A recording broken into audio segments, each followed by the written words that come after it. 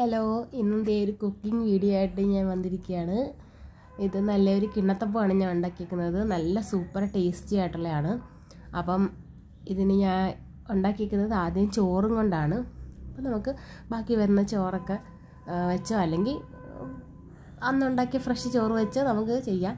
അപ്പം ഞാൻ ദേ ഇവിടെ കുറച്ച് ചോറ് എടുത്തിട്ടുണ്ട്. എനിക്ക് ഞാനൊരു ചെറിയ മിക്സർ ജാറിന് അരക്കപ്പോളം ചോറ് എടുത്തിട്ടുണ്ട്. ഇനി അത് ഞാൻ കുറേശ്ശെ വെള്ളം ഒഴിച്ച് ഇതുപോലെ നല്ല സോഫ്റ്റായിട്ട് അരച്ചെടുത്തിട്ടുണ്ട്. പിന്നെ ഞാനിവിടെ കൃത്യമായിട്ട് അളവൊന്നും നോക്കിയിട്ടില്ല. കുറേശ്ശെ കുറേശ്ശെ വെള്ളം ചേർത്ത് കൊടുക്കുമായിരുന്നു നല്ലപോലെ അരച്ചെടുത്ത്. ഒത്തിരി വെള്ളം നീട്ടിയിട്ടില്ല.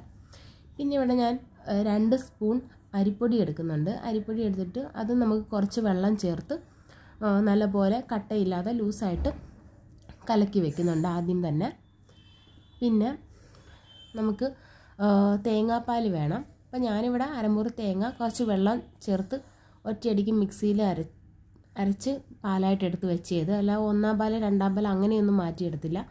ഒരുമിച്ച് തന്നെ കുറച്ച് പാലെടുത്തത്. പിന്നെ നമുക്ക് ആവശ്യത്തിന് വേണ്ട ശർക്കര ഉരുക്കിയെടുത്ത് മാറ്റി വെക്കണം. ഇതെല്ലാം ആദ്യം തന്നെ ചെയ്യണം. ഇനി ഇവിടെ ഞാൻ പാനിലേക്ക് അരച്ച് വെച്ച ആ ചോറ് ഞാൻ മാറ്റിയിട്ടുണ്ട്. ഇനി ഇതിനകത്തേക്ക് തേങ്ങാപ്പാലും നമ്മൾ കലക്കി വെച്ച അരിപ്പൊടിയുടെ ആ, പൊടിയും കൂടെ നമുക്ക് ചേർത്ത് കൊടുക്കാം. ഇനി ഇതെല്ലാം കൂടെ നമുക്ക് നല്ലപോലെ ഒന്ന് യോജിപ്പിച്ചെടുക്കണം. പിന്നീട് നമുക്ക് ഇതിനകത്തേക്ക് നമ്മൾ കുറുക്കിയെടുത്ത. അതായത് നമ്മൾ പാനിയാക്കി വെച്ച ശർക്കര പാനിയും കൂടെ അരിച്ച് ഇതിനകത്ത് ചേർത്ത് ഇതെല്ലാം കൂടെ ഒന്നിച്ച് മിക്സ് ചെയ്തതിന് ശേഷം നമുക്ക് ഗ്യാസിൽ വെച്ച് നല്ലപോലെ ചൂടാക്കിയെടുക്കാം. അപ്പോൾ ഇതെല്ലാം ഞാൻ മിക്സ് ചെയ്തതിന് ശേഷമാണ് ഇത് വേവിക്കാനായിട്ട് തുടങ്ങിയത്. അപ്പോൾ ഇതേ എന്റെ ശർക്കര ആഡ് ചെയ്ത് കഴിഞ്ഞപ്പോൾ ഇത് വെള്ള ശർക്കര ആയതുകൊണ്ടാണ് ഇതിന് വലിയ കളർ നമുക്ക് തോന്നാത്തത്. നമുക്ക് നല്ല കറുത്ത ശർക്കര നല്ല കളറുള്ള ശർക്കരയാകുമ്പോൾ നമ്മുടെ കിണ്ണത്തപ്പൊരു നല്ല ഹൽവയുടെ കണക്ക് നല്ല കറുത്ത കളറിൽ തന്നെ കിട്ടും. അപ്പം ആദ്യം ചെറുതായിട്ട് ഇവിടെ നിന്ന് കട്ട പിടിച്ച കണക്ക് വരുന്നുണ്ട്. പക്ഷെ അതെല്ലാം മാറിക്കോളും. പെട്ടെന്ന് നമ്മൾ ചൂട് കൂടിയപ്പോൾ അങ്ങനെ വെച്ചതാണ്. ഞാനിവിടെ ഒരു മീഡിയം തീയിലാണ് ആദ്യം എല്ലാം വെച്ചത്. ഇനി നന്നായിട്ട് ഇളക്കി കൊടുക്കണം. നമ്മൾ വീഡിയോയിലേക്ക് കാണുമ്പം അഞ്ചും പത്ത് മിനിറ്റ് തീരുന്ന വീഡിയോ ആയിരിക്കും. പക്ഷേ നല്ല പോലെ നമ്മൾ ഇളക്കി കൊടുക്കണം. നമ്മുടെ എന്റെ കൈ നല്ല പോലെ കൈ കഴിച്ച് കൈ വിടാതെ തന്നെ നമുക്ക് അടി പിടിക്കാതെ അത് നല്ലപോലെ ഇളക്കി കൊടുക്കണം.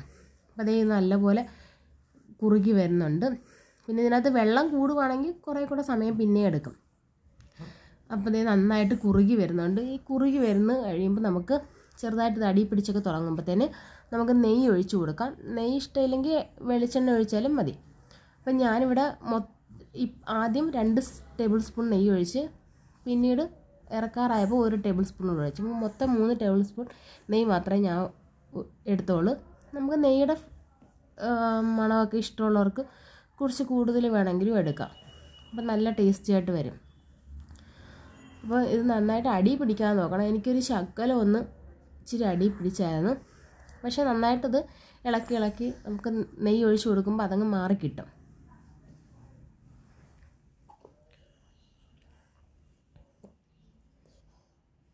അപ്പോൾ അതേ ഇവിടെ നന്നായിട്ടത് കുറുകി നല്ല സെറ്റായിട്ട് വരുന്നുണ്ട്.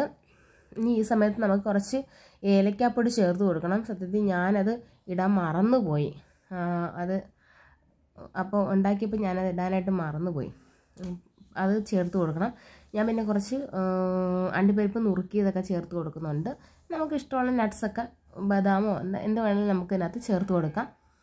പിന്നെ ഇനി ഇതിപ്പോൾ നല്ലപോലെ വെള്ളമൊക്കെ വറ്റി പാനി ഇതൊക്കെ വിട്ട് വരുന്ന കണക്കൊക്കെ ഇനി നമുക്ക് ഇത് സെറ്റാക്കി വെക്കാനുള്ള ഒരു പാത്രത്തിൽ കുറച്ച് നെയ്യൊക്കെ തടവി അതിനകത്തും കുറച്ച് ഒക്കെ ഞാൻ ഇട്ട് കൊടുത്ത് ഇനി അത് ആ ചൂടോടെ തന്നെ അത് ആ പാത്രത്തിലിട്ട് നല്ലപോലെ ഒന്ന് സ്പൂൺ വെച്ച് ഒന്ന് സ്പ്രെഡാക്കി ഒന്ന് ലെവൽ ചെയ്ത് കൊടുക്കണം.